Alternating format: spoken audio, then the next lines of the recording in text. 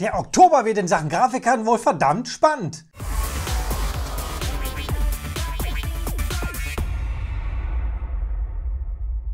Hallo und willkommen zu einem weiteren News-Video. Also aktuell kommt man mit den Meldungen zur neuen Grafikkarten von AMD und Nvidia ja überhaupt nicht hinterher. Jeden Tag und zwar wirklich jeden einzelnen verdammten Tag gibt es ein neues Schnipselchen zu den neuen Grafikkarten, ja für den eher kleinen Geldbeutel. Und das wird mittlerweile so viel, dass nun wirklich niemand mehr daran zweifeln sollte, dass diese in Kürze auch erscheinen werden.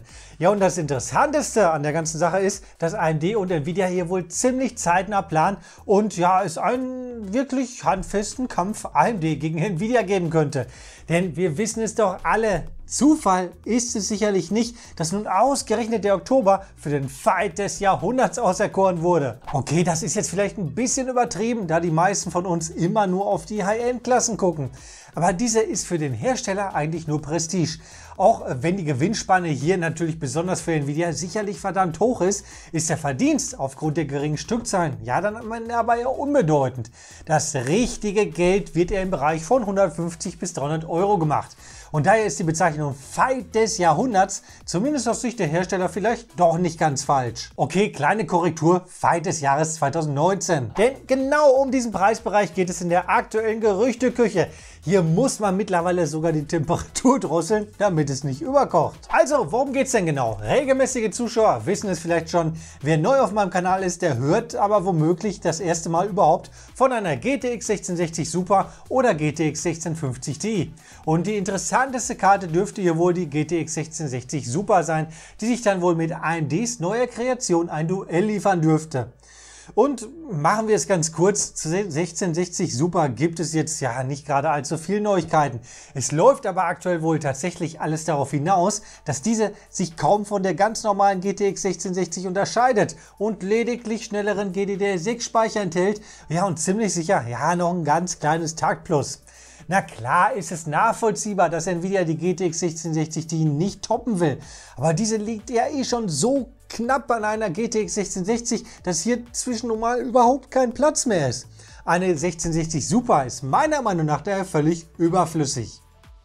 Da sich die 1660 Super dann halt unter der 1660 Ti anordnet, ist natürlich mit einem niedrigeren Preis zu rechnen. Ich tippe hier auf etwas unter 250 Euro. Das ist aber jetzt ein reiner Tipp ins Blaue.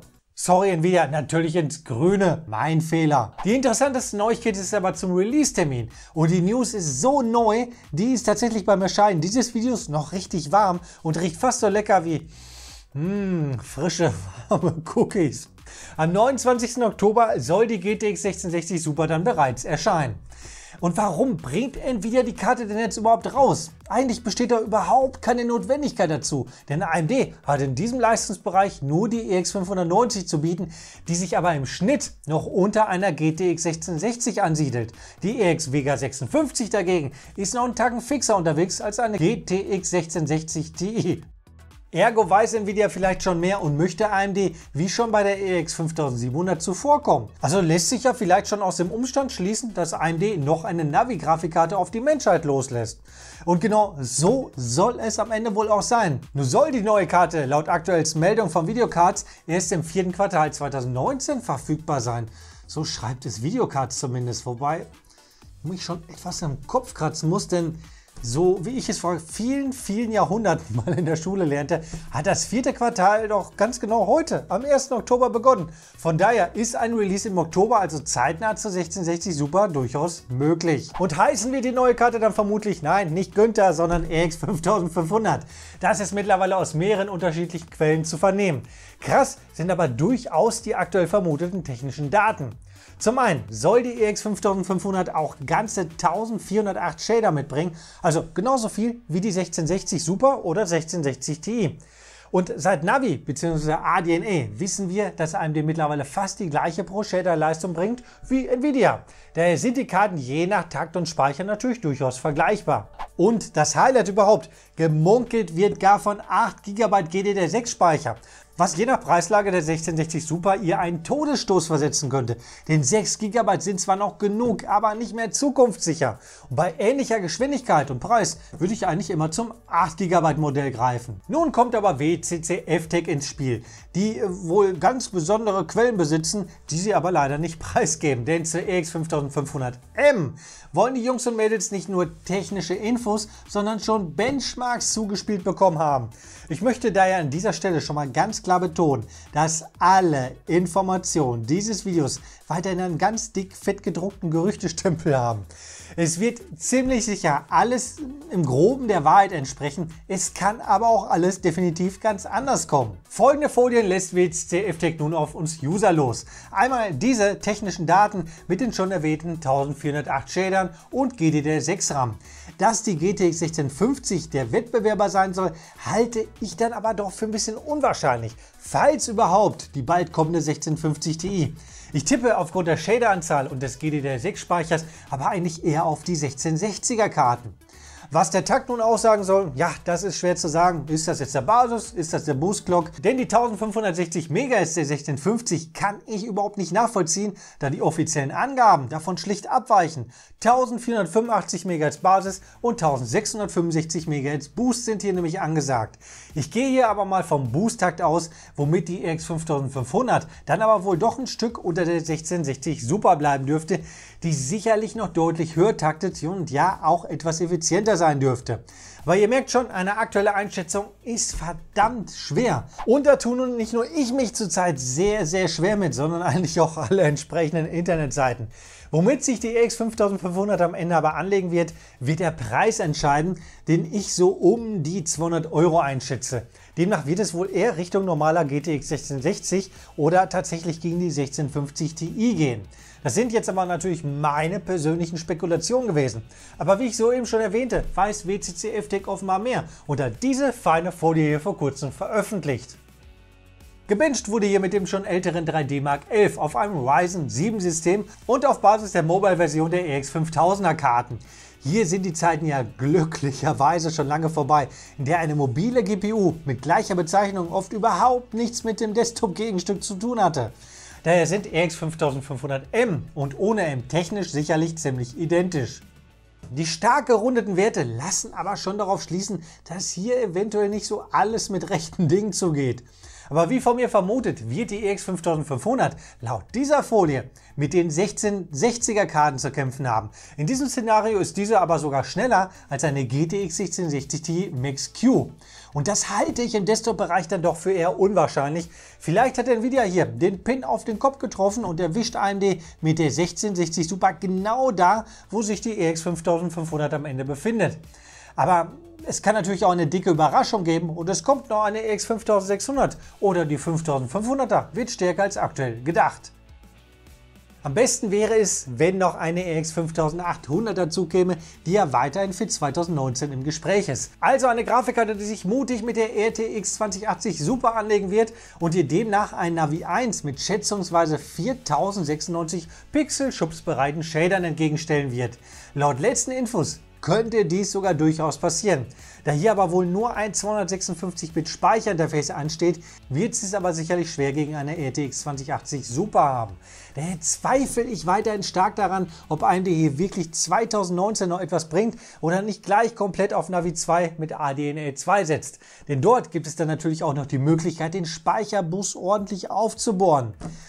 Ihr merkt, so richtig Klarheit ist weiterhin nicht drin. Alles wirkt noch sehr chaotisch. Von der RX 5300 bis zur RX 5800 ist alles drin bei AMD. Und so eine richtige Überraschung kann AMD hier wohl kaum bieten. Egal was kommt oder auch was nicht kommt.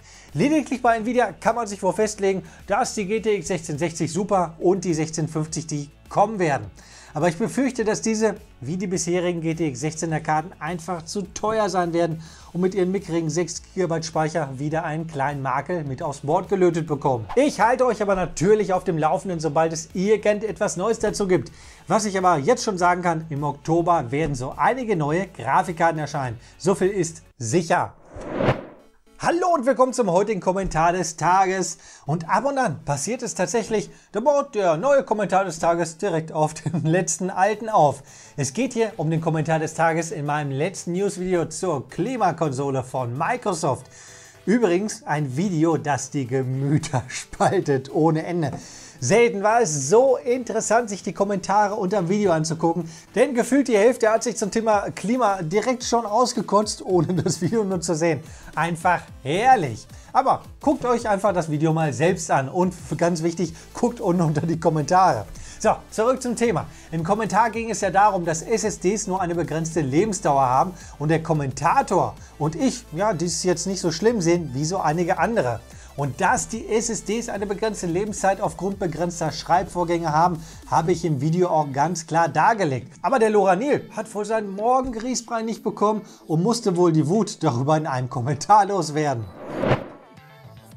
Du bist ein ziemlicher Dummschwätzer. Grafikkarten, Festplatten, SSD verrecken nun mal, wenn man sie entsprechend nutzt. Und ich spreche nicht von GPU-Mining, da reichen allein entsprechende Laufzeiten. Gerade Grafikkarten sind wegen den Temperaturunterschieden besonders anfällig und ich habe bisher fast jedes Modell in die Knie bekommen. Die letzte Karte, die gestorben ist, war eine GTX 480.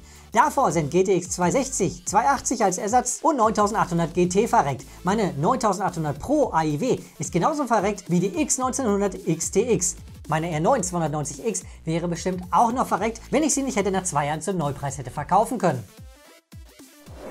Am liebsten würde ich das Ganze jetzt so völlig unkommentiert stehen lassen, denn die Gedanken der meisten kann ich gerade auch völlig ohne Glaskugel lesen. Wo ist die eigentlich schon wieder? Das Ganze passt auch wunderbar zu einer Aussage, die ich glaube ich auch im gleichen Video getätigt habe.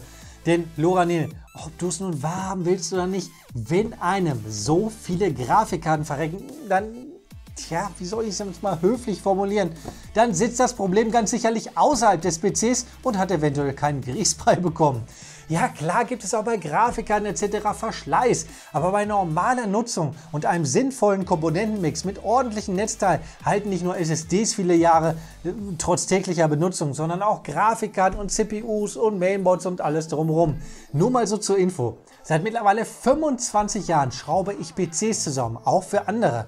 Mir selbst ist in dieser Zeit nicht eine CPU oder Grafikkarte fritten gegangen. Das einzige, was ich erlebt habe, eine Grafikkarte von einem Arbeitskollegen, die war mal defekt. Das ist aber auch schon 20 Jahre her. Das war nämlich eine Matrox Mystic. Sowas wie defekte Grafikkarten kenne ich aus der Praxis gar nicht und auch aus dem Freundes- und Bekanntenkreis überhaupt nicht. Also gibt es genau zwei Möglichkeiten. Entweder lebe ich hier in einer ziemlich hardwarefreundlichen Umgebung, in der sich Grafikkarten etc. einfach besonders wohlfühlen. Warum auch immer. Oder der Loranil hat ganz einfach irgendein Problem. Vielleicht ist das Problem ganz einfach in allen Belangen der Grießbrei. Denn wenn der Loranil keinen bekommt, Tja, dann sieht man ja in diesem Kommentar, wie sein Blutdruck regelmäßig ansteigt. Und ich möchte nicht wissen, wie er dann mit seinem PC umgeht. Zack, Problem gelöst. Der Grießbrei ist schuld. Zurück zum Klima. Ja, ich stehe dazu. Ich nutze zwar viel Elektronik, aber das, was ich an Strom einsparen kann, das spare ich auch immer ein. Daher wird bei mir alles immer schön brav komplett ausgeschaltet und in vielen Fällen auch mittels Schaltersteckdose vom Stromnetz getrennt. Denn auch im Standby ziehen besonders Xbox One und PlayStation 4 noch verdammt viel Strom. Und genau darum ging es in der Umfrage des letzten Klimavideos. Schaltest du deine Konsole komplett aus? Ich bin entzückt. Ja, ehrlich, meine Zuschauer sind doch vernünftiger, als ich nach solchen Kommentaren wie soeben vielleicht mal annahm. 64% schalten ihre Konsole immer komplett ab.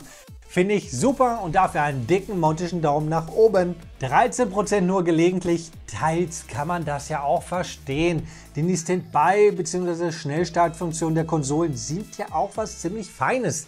Direkt wieder ins Spiel einsteigen oder halt der schnelle Start, keine Frage, alles toll.